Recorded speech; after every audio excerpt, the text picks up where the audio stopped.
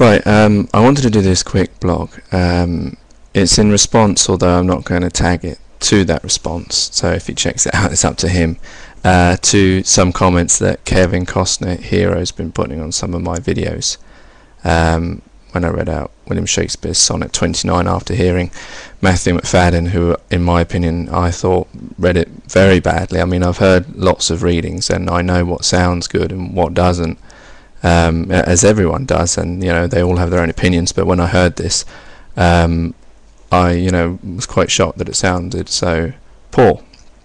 So I recorded my own version, and since um, some people, one person has come to my defence, and uh, he's been attacking. And this comment really uh, struck me because um, obviously sometimes it is possible to delude yourself thinking you have something, and, and other people might tell you that you have a good voice or your voice sounds nice, or you know whatever, or you read well.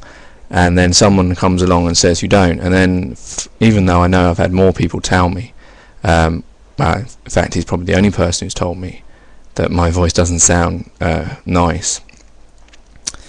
Um, but then just because that one, that's the one that's really struck me, and so I've started to consider, is that the case? Has he got it wrong, or have I got it wrong, or what? And his comment uh, that he posted on um, the Matthew Macfadyen reads the poem Sonnet 29 303 that you'll see, um, the comment that I made in reference to why I made some comments about that poem of the reading of it. Um, he said, because uh, I uh, questioned maybe I need to reevaluate my voice then, and he said, um, I'm not sure what this bit is. He says, Your voice grates on my nerves, and you seem to be trying to speak with emotion, but to me it's awful.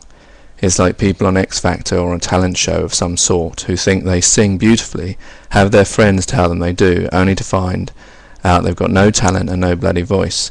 So yeah, I think you read with no emotion, or maybe you do, and the emotion is just pained and somber. so you know, after getting a comment like that, although it does seem to be filled with a bit of vitriol in there, and this person is an extreme fan of Matthew Macfadyen. You've got to remember that Matthew Macfadyen played Darcy, and when you ever play a character like that, you get people who you know um, see things rose tinted glasses or, or see things one way. I'm not saying he is, but that's what I'm asking you. So I've made this video to ask for the people who are my subscribers and who actually do view this video if every single one of them could tell me um, whether my voice is nice or not or whether you know he's right or um, or not or just so I know because um because you know he's made a lot of comments about my voice and at one point he said it sounded like death um, and he said, you know, lots of other things. You can check them out yourself. And I was just wondering, maybe he's right. Maybe, you know, I've got used to people telling me, um, you know, I mean, it's not just been on YouTube that I've heard people tell me that I have a very good voice or reading voice or receive pronunciation. You know, I had that back in when I was doing media in school. I mean, one of my teachers said that's why I found out what that term meant, received pronunciation. They said that was the voice I had. And, you know, through, you know, it's not just been um, for the last few years, it's been like the last 10 years that people have been telling me that I have a good voice and a warm voice and a, a romantic voice and a lot of emotion in there. So I just want to ask you, because you're on there, this thing has been commented on YouTube, you're my subscribers, um, or the people who just happen to hear this video, and I would like your view. Um, you can always, if you don't want to hear this bit, because obviously I speak differently when I'm reading a poem out. Maybe I should read that poem out on here. Let's let's read the poem out on here because then that makes sense doesn't it let me search for it live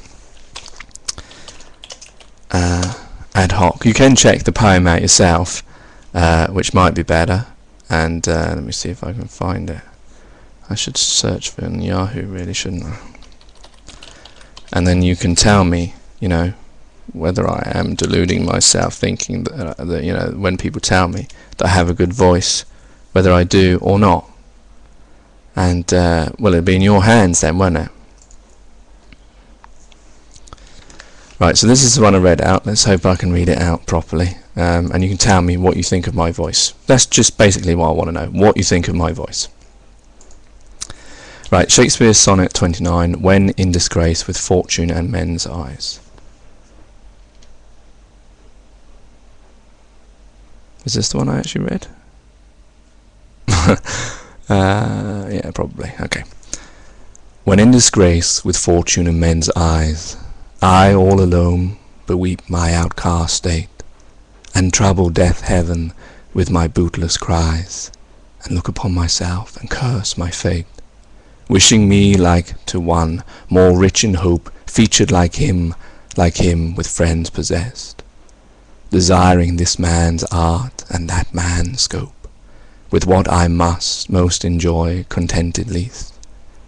Yet in these thoughts myself almost despising, Haply I think on thee, and then my state, Like to the lark at break of day arising, From sullen earth sings hymns at heaven's gate. For thy sweet love remembered such wealth brings, That then I scorn to change my state with kings.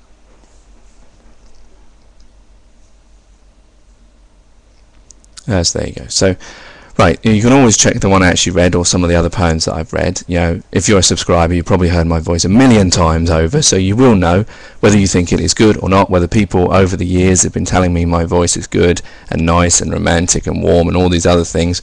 You tell me what you think of my voice, what attributes you think, and whether these people are wrong or right or what. So, um, I leave it up to you. It's in your hands. If you don't comment, then uh, you're doing me a disservice. So it's in your hands. I leave it in your hands, your capable hands, and um, I hope you respond. Um, because if you don't, then uh, then you're gonna leave me sailing down the Swanee without a paddle. anyway, thank you kindly. Take care. Take it easy, and peace.